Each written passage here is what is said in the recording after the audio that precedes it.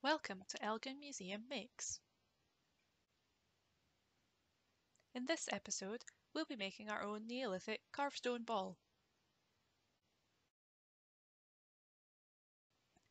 Carved stone balls, also known as petrospheres, are most commonly found in Scotland, although examples have been found elsewhere in Britain and Ireland. They date mainly from the later Neolithic period, which you might know as the Stone Age, from around 3000 to 2500 BC. Over 400 examples are known, with the majority having been found in the Aberdeenshire area, just to the east of Moray. Carved stone balls are quite strange objects, and no one really knows for certain why they were made, what they were for, or what they meant. Lots of suggestions have been made over the years. Perhaps they were used as a weapon, or as a ceremonial object, or perhaps they were pieces of art, like the ornaments you might have on your shelves at home. Some have even suggested they were used as rollers to move large stones when our Neolithic ancestors were building their stone circles. They are often called mysterious. Carved from solid blocks of stone, often hard granite stones, as well as some sandstones, it would have taken time and great skill to create the beautifully ornate patterns which decorate the balls. Not all carved stone balls look the same. Some are plain, with only undecorated projecting knobs or discs. Others are decorated with intricate patterns of spirals, zigzags, lines on the discs or knobs, while others still are covered in lots and lots of small bumps. At Elgin Museum, we have several carved stone balls on display as part of our archaeology exhibit. Okay, so it's time now to have a go at making our own replica carved stone ball. So first, what are we going to need to make our carved stone ball? Um, well, first things first, we're going to need some dough of some kind. So you can use Play-Doh, um, Play-Doh that you've made or Play-Doh that you've got from the shop. You could use plasticine, you could use salt dough, uh, you could use air drying clay, uh, whatever you've got. So we'll put a recipe up, a couple of recipes up for uh, Play-Doh and for uh, salt uh, dough that you can have a go at making yourself and that's just with whatever you've got in the kitchen. So here I've got some um, Play-Doh that I've made myself and with the uh, homemade Play-Doh and the salt dough if you um, once you finish making it you can leave it to air dry and it'll kind of go a bit crusty and dry a little bit or you can pop it in the oven on a really low heat and that'll sort of dry it out and make it a little bit firmer if you want to keep your carved on ball. If you don't want to keep it, you can, once you've finished it, take it all apart again and start fresh because it's just um, soft squidgy dough and you can start all over again.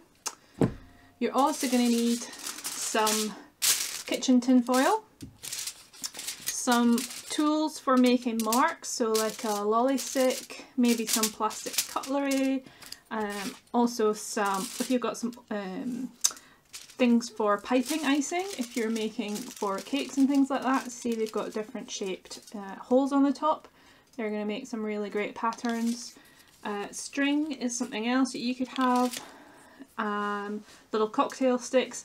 Anything that you might think you want to use to make different shapes and patterns in your dough. You're also going to need a little bit of water and a little small paintbrush or you can just use your finger and make sure you've got a nice waterproof surface and you're not uh, working on the this table so that you don't make too much of a mess. Um, just have a look, we've got some examples of ones that we've done earlier. So we'll just bring a few of these in so you can have a look. So this one you can see we've got some little square dots, so we used a little kind of square toothpick tool, or you can make stripes using um, uh, the lolly stick. It's really great for making these kind of patterns. And again, some stripes there and some little um, tiny circles, which you might not be able to see, which um, you could use the um, piping nozzles to make little impressions with that. Um, a spiral here, uh, we can use a string and we can push the string in and then when we pull the string out it makes a really nice um, pattern and it leaves a nice texture behind as well. Um, another one here which is just all spirals on the big sort of buttons or knobs, a little bit like in the museum, the ones in there they don't have the patterns on them. Another one here which is a little bit like the one in, that we've got in the museum with lots of tiny buttons and and then the third one with the bigger knobs and buttons on it that have got different patterns just to see um, there's loads of different things you could do. This one we filled in in between as well and made a little pattern in there. So it's really up to you how you make your own design and um, it's your chance to just be really creative and create your own unique uh, replica carved stone ball. These ones uh, have been made using an air drying clay and so they dry quite solid. Um, just leave them out on the radiator to dry a little bit. So we're going to start with the um, kitchen foil. And you can use any size piece you want. What we're going to do is we're going to scrunch it up into a ball. And this sort of just forms the core of your carved stone ball so that you don't use quite as much dough. And it's not quite as um, heavy to work with so it's sort of a little bit more stable. It doesn't collapse so easily. And um, it also dries a lot quicker when it's on the tin foil. So you can make it whatever size you want. I've just done one there that's about sort of five or six centimeters in diameter. And you see I've just scrunched it. I've not scrunched it too tight because you don't want it too tiny. But um, really just whatever size you want. So I've just used a slightly smaller piece of tin foil there to make a slightly smaller one.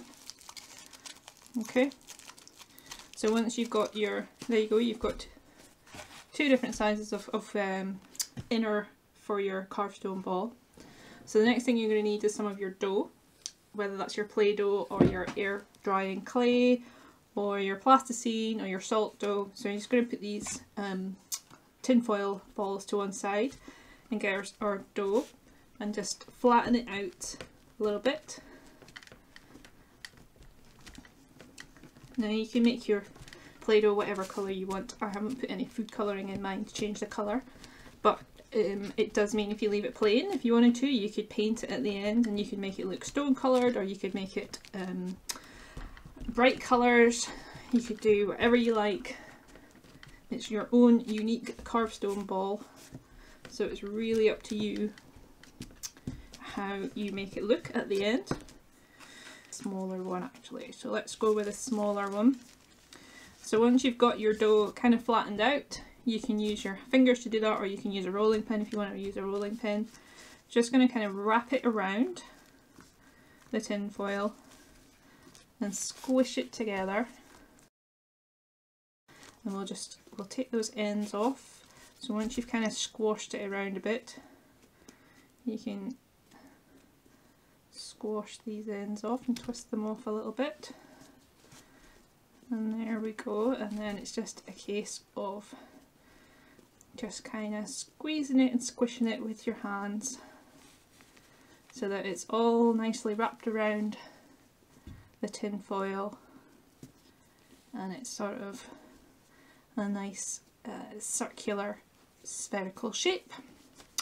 So there we go, we have our basic um, sphere shape for our carved stone ball and it's ready then to add your decorations. So like we've seen we've got these ones with the big kind of disc shape uh, buttons on them or we've got these ones with lots of tiny little knobs on them. Some of them are, if you remember, um, they don't have the knobs on them, they have lots of patterns um, carved into the surface so you could absolutely do that. Just see if we can have a go here with a little bit of string. So if we push the string in, in a bit of a spiral pattern, just as an example. And then when we take the string out, we have a little spiral pattern there. But what we're going to do, what I'm going to do today rather, is um, make one with these big buttons on them. So that means we're going to need some more dough. So we're going to put this ball to one side and we're going to need discs that are slightly smaller than the kind of um, top surfaces. So just need a little bit more dough. So you can take first off some of your scraps from wrapping around the tin foil and just squish them in your hands to make a sort of uh, circle, ball shape. Okay, and let's see, let's see how big this goes when we just flatten it down with our fingers. It's maybe a little bit too big I think, so we'll just, take a little bit off and because it's the dough it's really easy to just then start again. If you've got warm hands it'll be even easier. So we've got a, a rough circle and we'll just squash it down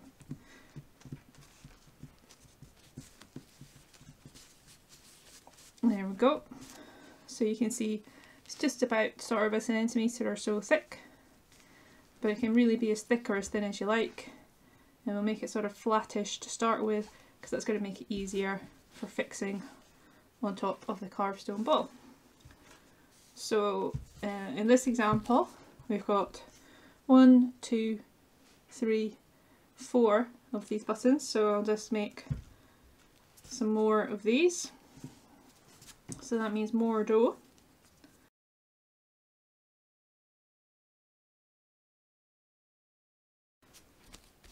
So there we've got our four buttons to stick onto our carved stone ball. So what we're going to do is just um, uh, use a, a fork or the stick just to sort of rough up one side a little bit just to kind of help it stick a little bit more. So do that on all of them.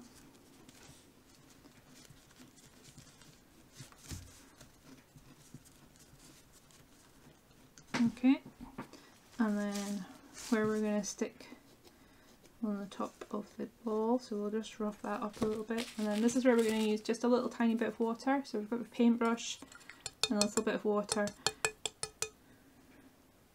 And this should hopefully just make it a little bit easier for the two surfaces to stick to each other because they do get a little bit dried out. When you're working with the dough it gets a little bit dry. So maybe if you've got a big bowl of, of dough, cover it up with a little bit of cling wrap or a Tupperware lid or something like that. So there we have our first button is attached to our carved stone ball. So let's see, we're going to put the other buttons we're going to have one here, one on this side and a third one on this side. And we'll just squash that one down a little bit. So put the next one on, we'll just pop it on here. So we'll just rough that surface up a little bit again. Again with a little bit of water. Don't need a huge amount, just a little bit to kind of work like a bit of glue.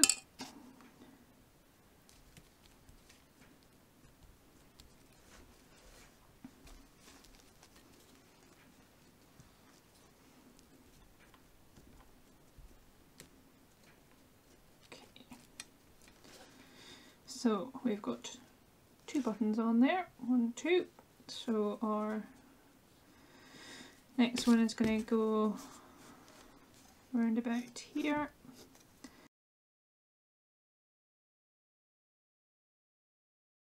on this side. So we'll just score this face again, a bit of water.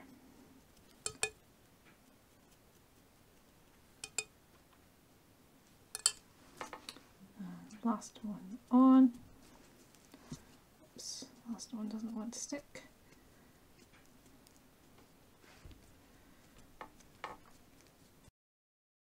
It can be a little bit difficult uh, depending on how quickly your dough dries out. So mine has decided to dry out really quickly today. But there we go. And we have our one, two, three, four buttons attached to our carved stone ball and then we've got a nice flat surface for it to rest on while we do some decoration. So I think we'll maybe start with um, using the uh, icing nozzle. So this one's got a little circle on it. So I think you can make some great circle patterns. So we just got to push down with it. Just go back over that a bit so you can see there you can make some great patterns. It depends what shapes of um, piping nozzles you've got or maybe you've got a straw handy. Straw would be really great for making these little um, tiny circle patterns as well. Let's just do some on this side. So you can see there we've got lots of tiny little dimples. And so you've got to be a little bit careful now once you start decorating them. Got to be a little bit careful how you hold it so you don't squash the patterns off that you've already put on. So on this side I think we'll try with the lolly stick and we'll just make some nice line patterns. And you can just squash them on. That might help it stick a little bit more as well. Go over some of these. And maybe we'll go in the other direction. And we'll just make it a little bit sort of checkerboard. There we go. So we've got a little square pattern on that side, we've got our circle pattern on this side. Now let's see on this side, I'm going to be really careful and try not to squash the um, decoration that I've already done. So let's see if I can get this string to go in in a nice spiral. It's a bit tricky, you might need somebody to help with this bit for an extra pair of hands. So we just push the string in in spiral pattern. Oh, it doesn't want to stay in today.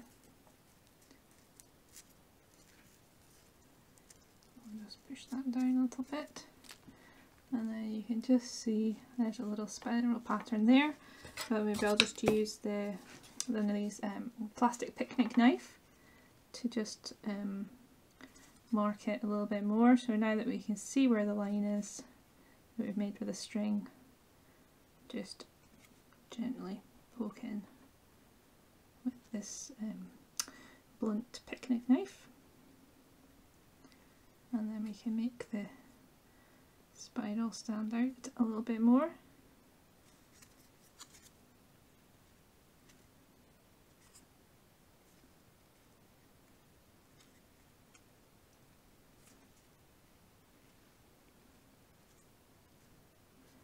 can add a little bit more texture with the little serrated teeth of the plastic knife as well. Make sure you're um, using one of these plasticky um, picnic ones because then they're not sharp. Be quite careful with these. So we've got our spiral, we've got our dots, got our checkerboard which I might you see there I've managed to squash a little bit so we can just pop that back on while the dough is still soft. Squash it back in. Do one here a little bit. There we go. Oh, and we've lost a few of our dimples as well. Put one back in there. And then for the last side, let's see, got one of these um, star-shaped icing nozzles, so we'll just see how that turns out. That's going to make some interesting patterns.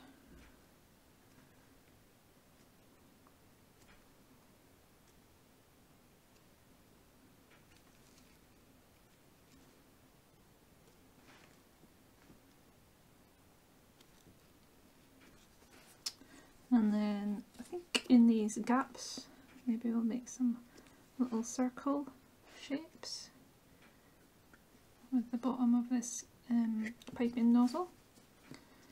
Really you can use anything that's going to make a, a pattern or impression.